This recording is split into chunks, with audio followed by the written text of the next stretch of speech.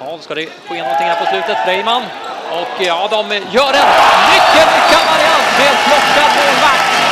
Och eh, Fredrik Gustafsson